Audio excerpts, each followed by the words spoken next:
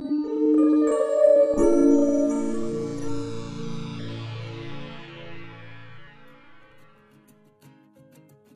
everyone, this is Jordan Ostrold from UC Workspace and welcome to another video. In this video, I will discuss how to configure displays within Quick Launch to be optimal for dual display setup. To begin, enter Quick Launch settings by clicking Ctrl Alt S or by clicking the gear icon in Quick Launch. After entering Quick Launch settings, move to the Display group followed by the Full Screen tab. We will start off by clicking the Add Screen icon which will add a second screen to Quick Launch. You will then click Identify Screens on the right hand side of Quick Launch so you know which screen is which. You will then want to set the screen ID to the proper number for both displays. For my example, I will be using screens 2 and 4. My screen 4 is a Logitech Tap which is typically used on the conference room table to control the meeting room. I will change the layout to tabbed which is optimal for smaller touch enabled devices. I will then change the behavior to fixed so that Quick Launch will remain full screen on my Logitech Tap. The visibility radio buttons are important because they allow you to enable or disable tabbed mode exclusive options. The left navigation bar will enable or disable quick launch groups, which allow you to select exactly which tabs you want to display. The right status bar will adjust what icons are shown on the right side of the interface. These options allow for things like room reset, AV icons, and system monitoring. The Windows buttons affect what options are available under the Windows group found in the left navigation bar. These buttons include Maximize, Restore, and Bring to Front. The next important setting I will adjust is the option for the virtual keyboard.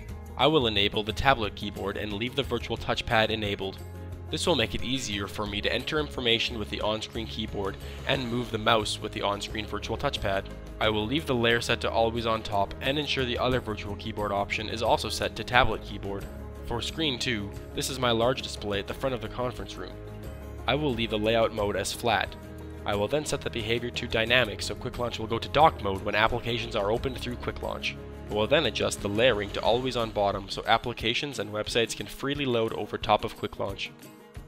I will then change the virtual keyboard to show the Windows keyboard, which allows for a full on-screen keyboard to be displayed on the larger monitor. I will now move on to the Dock tab. I will first change the Dock on-screen option to be the large display at the front of the conference room, which in my case is Screen 2. Doing this will ensure that when Quick Launch changes into dock mode, the dock bar will only appear on screen 2. Changing the app bar state will adjust where on screen the dock bar can be found and if the dock bar will be pinned or hiding. We will now move back to the General tab. We will enter the room name which will be shown on the main screen. The radio buttons along the left side allow you to disable the icons in the upper right of the Quick Launch interface. This can prevent accidental closure of Quick Launch or entering design mode by accident. The suppression of error messages will ensure that no warnings will be directly displayed onto your Quick Launch interface, but the errors will still be logged in the event log of your PC. We hope you enjoyed our video on dual screen configuration within Quick Launch. If you are looking to set up Quick Launch on a single screen, click the video on screen at the end of this video. Be sure to visit our website at www.ucworkspace.com and follow us on Twitter and LinkedIn at UC Workspace to always stay up to date with Quick Launch, news, and updates. Goodbye.